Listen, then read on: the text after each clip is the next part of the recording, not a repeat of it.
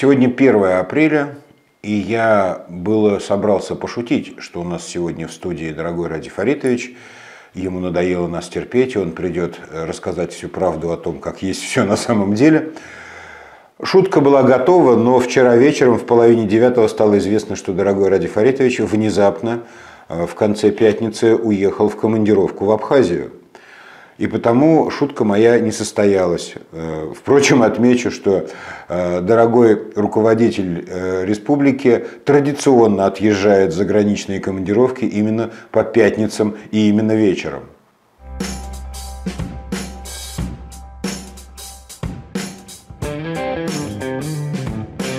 По прошествии почти четырех лет правления Хабирова Республикой Башкортостан, пожалуй, что всем стало очевидным, то какие приоритеты установились у действующей в республике власти. А, на мой взгляд, э, главнейшим приоритетом является благоденствие и достаток э, Хабирова и его команды, обустройство их э, быта, жизни, условий труда и прочего, не говоря уже о тех странных экономических процессах, которые идут подполье во время распила нашего многострадального башкирского бюджета, а вот все остальное отходит на второй план. Все остальное не приоритет. Ни занятость населения, ни доходы населения, ни э, то, как вообще живут люди в республике, особенно не беспокоит дорогого Ради Фаритовича.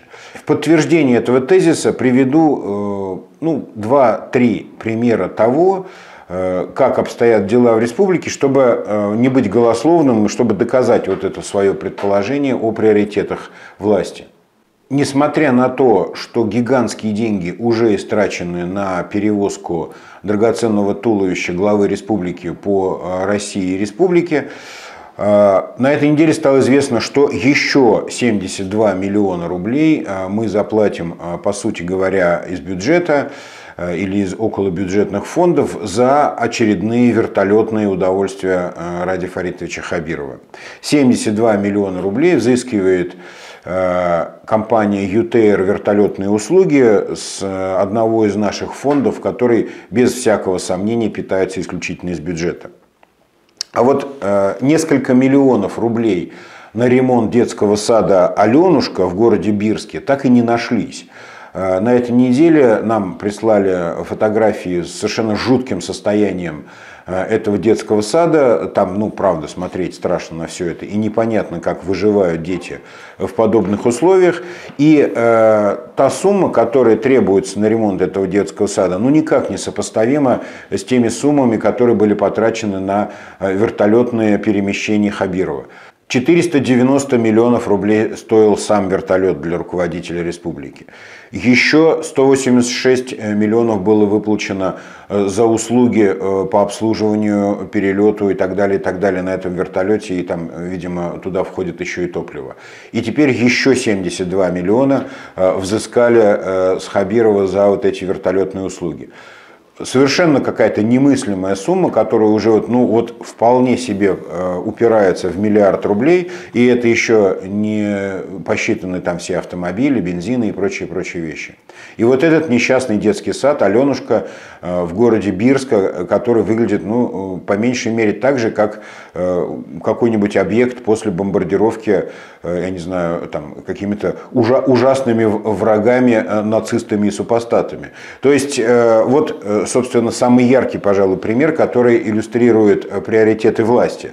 Помимо всего этого, кроме вот таких вот э, вещей, как детские сады, школы, дороги, э, Хабиров его команда полностью пренебрегают и символическими вещами. Я говорю о том, что памятник Салавату Юлаеву, который было как вроде бы как обещано начать ремонтировать и который находится в бедственном положении, он насквозь проржавел, внутри этого памятника уже свили гнезда перелетные птицы и прочее, прочее. Так вот, этот памятник тоже не особенно спешат э, ремонтировать ввиду отсутствия денег. Ну, понятно, все же деньги пошли на э, вертолеты, на оплату услуг по обслуживанию этих вертолетов и так далее, и так далее. Так вот, памятник Салавату Юлаеву не отремонтируют не то чтобы к 450-летию Уфы, то есть на будущий год, а вообще его не отремонтируют в обозримом будущем. А на этой неделе а, послышались разговоры, что концепция меняется, что теперь памятник будут снимать и перемещать в какой-то там специальный цех, где специальные люди, специальные инструменты э, и прочее, прочее, они это будут делать. Э, примечательно, что во всей этой болтовне отсутствует э, какая-либо хронология, то есть никто не говорит, когда и что случится.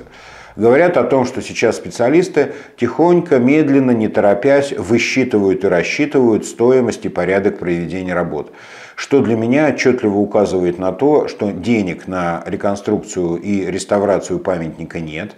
И то, что риски того, что этот памятник э, как-нибудь однажды в сильный ветер спикирует прямо в реку Белую, возрастают от дня ко дню. Ну а птички облегченно вздохнули и вернулись видеть гнезда внутри символа Республики Башкортостан.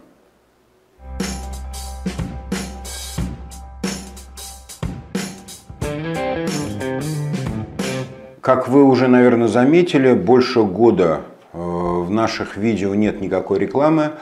Монетизация на YouTube для России отключена, и потому единственным путем, которым э, вы можете помогать нашему каналу, э, является путь перечисления любых денежных средств на наш расчетный счет, который мы публикуем в каждом нашем видео.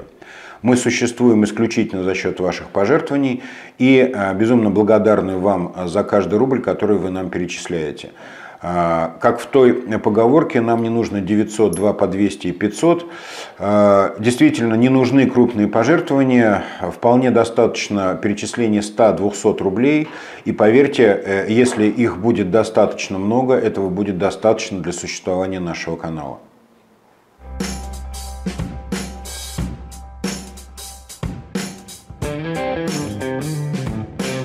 На минувшей неделе, как я и обещал, мы э, посетили парк Кашкадан и осмотрели, что от него осталось э, после первой его зимовки.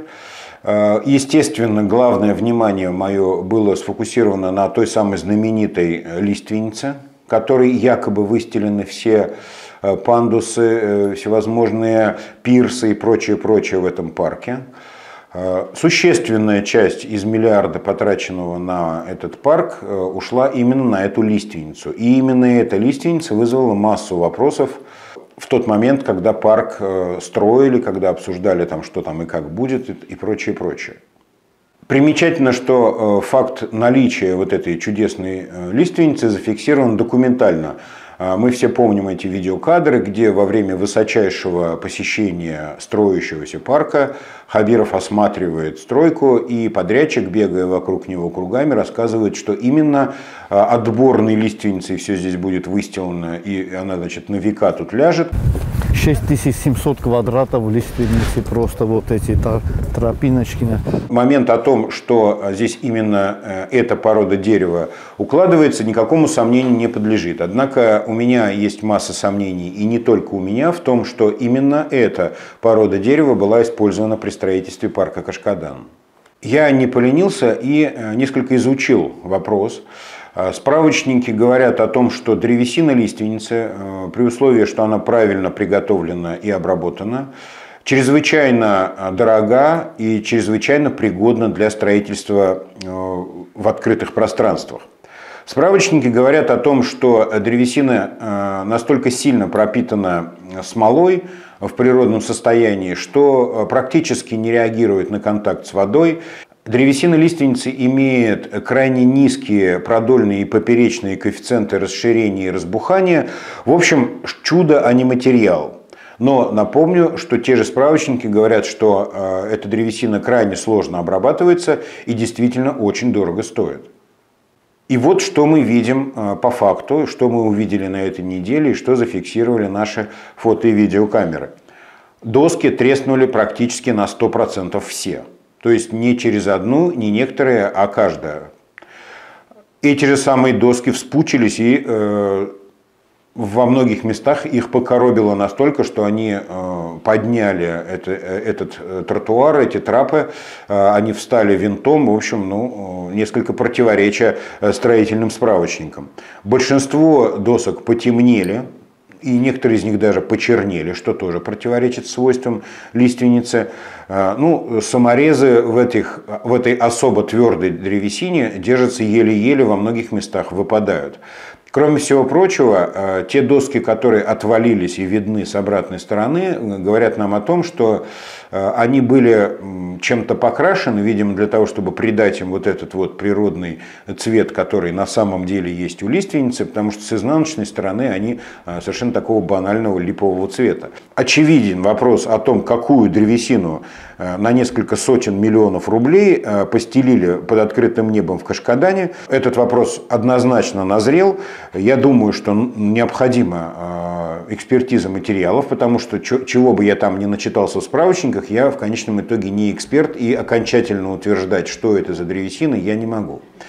Каким образом организовать эту экспертизу и как сделать так, чтобы мы ей поверили, чтобы это не была бумажка, которую нам принесет опять э, какой-нибудь подрядчик, где будет написано «Э, Лара, вообще, а вообще отличная древесина». То есть вот такая бумажка нам не подойдет.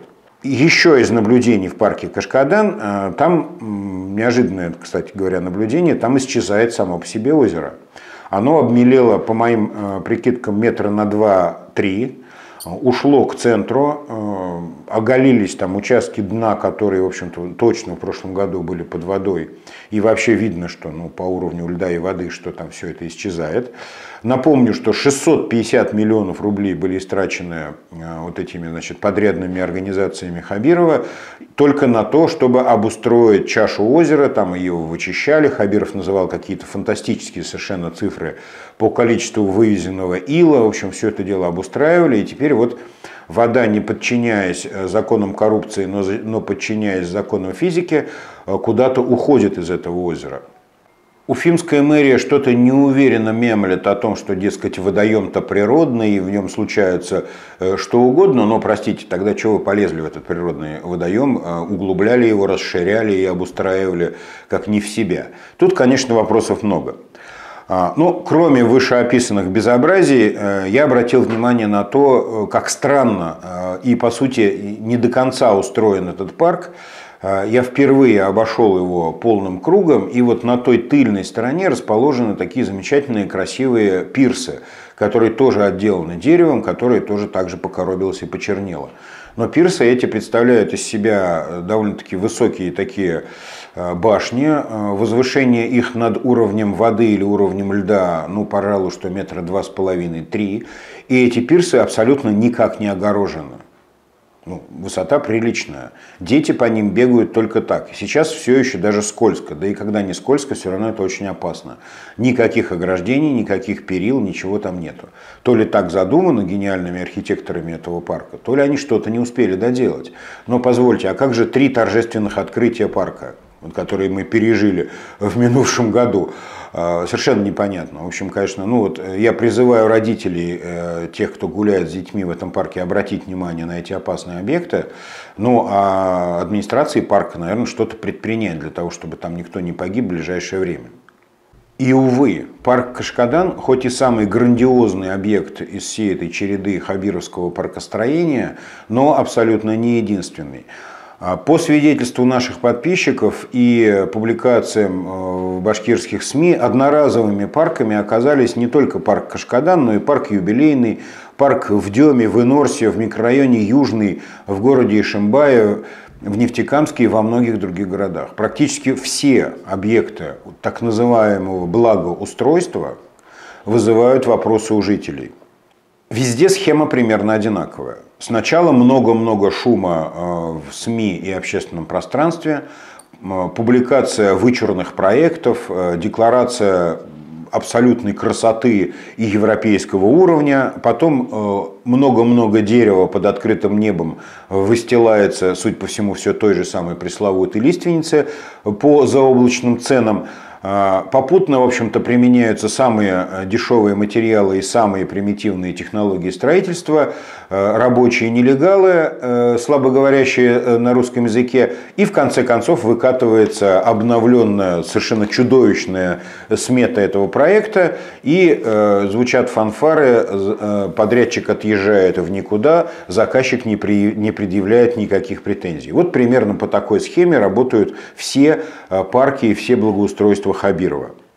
Само собой напрашиваются вопросы. Почему лично Хабиров э, выступал ну, практически рекламным агентом этого парка Кашкадан и некоторых других объектов?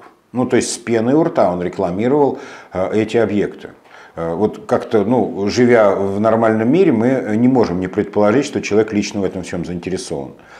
А почему заказчики ни разу не предъявили претензий э, значит, исполнителям этих работ э, устранить появившиеся недостатки либо подмену материалов? Мы не видели ни судебных разбирательств, ни э, требований по исправлению недостатков. Почему прокуратура не проверяет процессы освоения миллиардов рублей вот на этом паркостроении? Уже пора, уже точно пора, потому что потом вы никого не найдете. Но и главный вопрос. Вот какова роль во всем этом благоустройстве самого Хабирова? Какую роль он играет лично? То есть тут есть на самом деле два варианта. Либо Ради Фаритович не в курсе, либо Ради Фаритович в доле. Это два вопроса, и оба ответа на эти два вопроса нас не могут утешить. Потому что в первом случае, если он не в курсе того, как на самом деле это все обстоит, то Ради Фаритович, простите, лох. А зачем нам лох глава республики? А второй э, вариант ответа, если он в доле, но это уже вопрос как бы к прокуратуре и Следственному комитету, то тогда ну, нам глава такой тоже не особенно нужен, если он тут, значит, в доле с этими строителями. В общем, все довольно печально с этим благоустройством, и, увы, пока на это все не обращают внимания правоохранители.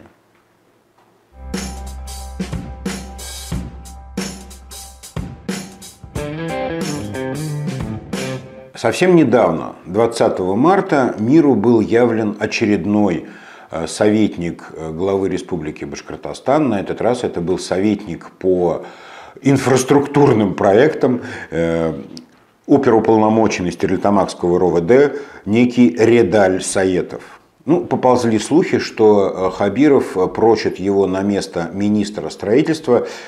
Честно говоря, в первый момент я рассмеялся – но, увы, за минувшие две недели эти слухи обрели под собой вполне себе обоснованную почву. Многие чиновники Белого дома мне лично подтвердили намерение Хабирова э, сделать из этого самого Редаля Саетова э, министра строительства Республики Башкортостан. И меня лично эта информация повергла в ужас. Дорогой Ради Фаритович, ну почему вы ничему не учитесь?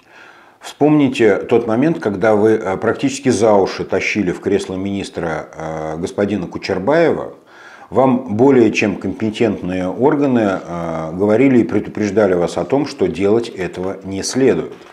Вы не послушались, вы начали шуметь, галдеть, топать ножками и кричать «Глава я республики или где?». Ну, чем все это закончилось, мы прекрасно понимаем. И вот теперь, значит, получается примерно та же ситуация. Ну, возможно, конечно, что э, правительство Республики Башкортостан окончательно э, превратилось в некий прообраз какого-то профессионально-технического э, среднего учебного заведения, в котором, э, ну, например, Авзалова вы взяли министром, чтобы он подучил русский язык. Возможно, что и вот этого Редаля э, Саетова вы тоже берете, чтобы он, например, научился клеить плитку. Э, но, черт побери, по-моему, это неправильно делать из правительства какой-то ФЗУ, ПТУ или что-то вроде того. Если серьезно, то это очень пугающая история. Э, и тенденция ставить руководителем серьезной технологической отрасли э, человека с нулевым опытом и образованием, конечно, э, очень пугает. Ну, расскажите, пожалуйста, нам, прежде чем делать из него министра, какие такие здания, сооружения построил вот этот Радель Саетов? Какое крупное строительное предприятие он возглавлял и каковы успехи этого предприятия? Э, сколько можно тащить в министры людей, э, ну, по принципу дружбы или дружеских отношений, или каких-то там сентиментальных юношеских привязанностей. Э, вот со стороны это выглядит ужасно, понимаете, да, если вам очень нравился вот этот вот Авзалов, или он вам там какие-то неоценимые услуги оказал в тайне от всех где-то там в Сибае, но ну, не надо было его делать, значит, человеком, который занимает министерское кресло только для того, чтобы изучать русский язык. Примерно то же самое вы, Ради Фаритович, пытаетесь проделать с этим Раделем Саетовым. Тем временем, окрыленный перспективой, э, наивный Радель Саетов э, со, со свитой застройщиков, э, явно желающих угодить будущему министру, был замечен за отправлением религиозных обрядов. Видимо, эти обряды должны были способствовать воцарению господина Саетова в министерское кресло в дальнейшем. Ну, как говорится здесь, не приведи Господи. В конечном итоге мы все рассчитываем на то, что э, все-таки лампочка здравого смысла э, когда-нибудь вспыхнет Э, в мрачном сознании дорогого Радия Фаритовича, и он поймет, что вот то, о чем мы сегодня говорили, делать категорически нельзя. И дело не в том, что мы тут э, почему-то вдруг внезапно все возненавидели этого никому неведомого э, Раделя Саетова, да и бог с ним, пускай живет и радуется. Дело в том, что мы, в общем-то, беспокоимся за республику, мы беспокоимся за те отрасли, которые пришли в упадок при Хабирове и которые могут прийти в еще больший упадок, если он наберет туда Э, друзей из бани, друзей из шашлычной, друзей юности, детства и так далее, и так далее, людей не по профессиональному признаку, а по признаку личной преданности, либо личных привязанностей.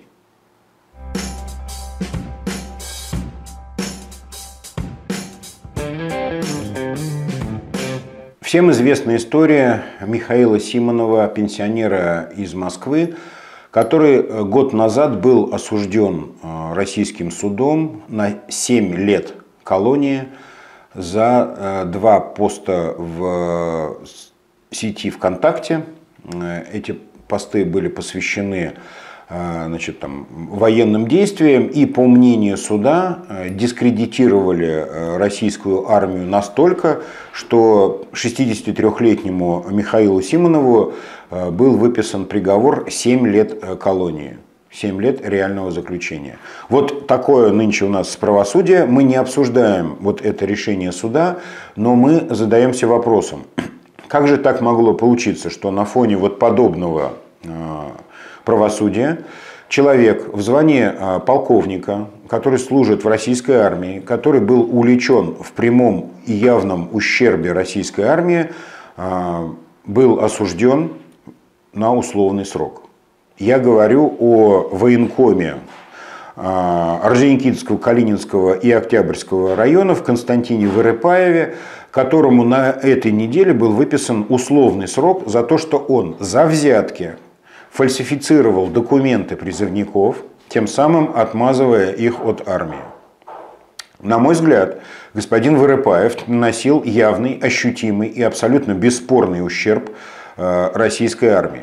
На мой взгляд, господин Вырыпаев не менее чем пенсионер э, Симонов дискредитировал российскую армию собственным примером. То есть показывая, каким может быть старший офицер э, в российской армии, вот таким вот, который берет взятки, который фальсифицирует документы и так далее, и так далее. Вот этим самым господин Вырыпаев, на мой взгляд, бесспорно дискредитировал российскую армию. Но Вырыпаев получает условный срок и отправляется э, к своей женушке, которая тоже мягко отделалась, хотя участвовала в этом всем, э, отправляется к ней под бочок в мягкую теплую кроватку, а пенсионер Симонов э, получает 7 лет колонии за два поста ВКонтакте. Вот такие вот контрасты правосудия существуют в Российской Федерации сейчас. Тут напрашиваются очень печальные выводы. Дело в том, что подобные приговоры и подобные контрасты – это не только плевок в лицо правоохранительным органам, которые, на мой взгляд, добросовестно расследовали злодеяния военкома, и все доказали, ну вот такой вот э, странный приговор э, получился на выходе, тут э, напрашивается еще и более глобальный вывод, что отношение внутри общества к этим правонарушениям очень разное. То есть пенсионеру, понятное дело, 7 лет, а вот этому социально близкому полковнику военкому ему условный срок.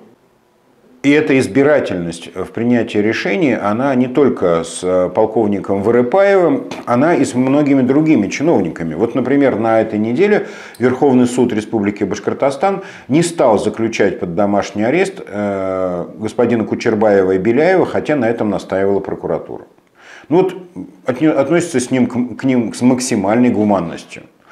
Верховный суд э, счел, что им нельзя сидеть под домашним арестом, им можно, значит, практиковать большую свободу. Несмотря на то, что год как уже длится следствие и суд над этими э, товарищами, несмотря на то, что э, даже исходя из того, что известно в открытом пространстве, не вызывает сомнений их, э, их причастность к этим злодеяниям, вот суд так к ним лояльненько относится.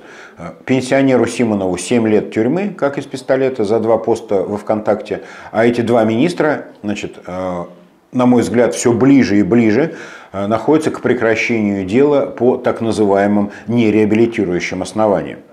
Ну, тут, как говорится в народной мудрости, украл мешок комбикорма сразу же в тюрьму, а украл десяток миллионов, ну, гуляй на свободе э, как максимум с условным сроком.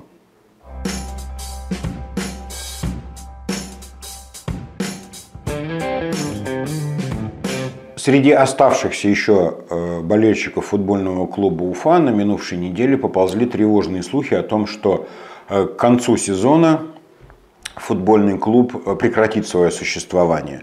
Во многом этому способствовал факт того, что в клубе резко сократились зарплаты, о чем были розданы уведомления на минувшей неделе болельщики футбола, башкирского футбола в тревоге замерли и ждут развязки. Некоторые апологеты теории заговора полагают, что все вот это вот вокруг зарплат и доходов футболистов и сотрудников команды, все это очередной раунд шантажа. Э, Шамиля Газизова в отношении Ради Хабирова. Дескать, вот тогда он его там пугнул, что закроем клуб. Э, Хабиров испугался и вошел в учредители э, государством туда, в этот клуб. Теперь, значит, требует денег. На самом деле, я не разделяю вот этой теории заговора. Я полагаю, что даже Шамиль Газизов понимает, что у Хабирова на футбол точно нет денег. Похоже, что детище Мурзагулова, это мертворожденное дитя футбольный клуб Уфа, Э, и вообще в целом башкирский футбол, э, подобно э, башкирскому трактору, отправляется в небытие. Ну, не знаю, я не болельщик футбола, и потому не могу разделять скорби тех болельщиков, которые были у этого футбольного клуба, но слишком уж все это, на мой взгляд, было притянуто за уши. И сам Шамиль Газизов, которого, помните, как возносил, восхвалял сам Хабиров. Ой, там это гений футбола, какое счастье, что он у нас есть. Да мы сейчас всех запинаем мячиками. А, Что-то как-то печально все на выходе. И да, действительно, неплохо было бы послушать откровение самого Шамиля Газизова, а, который знает, наверняка очень много знает про то, как все было устроено а, при Мурзаголове, куда там ходили, бродили эти денежки, но что-то мне подсказывает, что Шамиль не станет распространяться на эту тему.